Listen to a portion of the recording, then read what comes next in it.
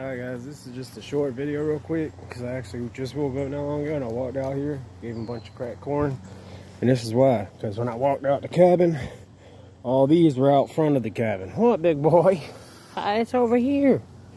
So I walked back here and had the flock follow me to where we feed them.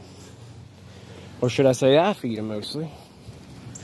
But yeah, I just wanted to show y'all, I didn't have my phone on me when I did it because like I said, I started feeding these guys a year ago and I never even. I did this for a year and I never even filmed it. So I didn't do it every day for a year. I did it uh, like off and on for a year and they just all started coming and coming and coming back. So now they're always out here. But yeah, like I said, I just wanted to show y'all real quick when I woke up. This is what was outside the cabin door, which is on the front side, but I went ahead and fed them so I could uh, get them from out of that part of the yard back here. But yep, we got all these little mallards and American black ducks again. What you doing, big goo-goo? Where's your food? I gotta go get you some more food. It's in over there. It's all on the ground, goo-goo.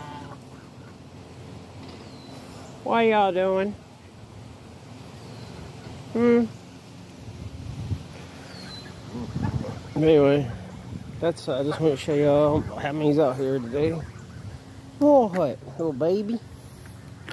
You your little baby goo goo? Big boy. I don't have none. It's not none in my hand. I gotta go get it.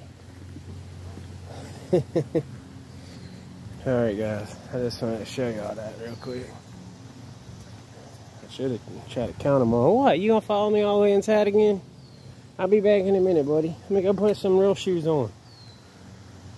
Hold on. I'll be back. All right, guys. Peace, love, blessings.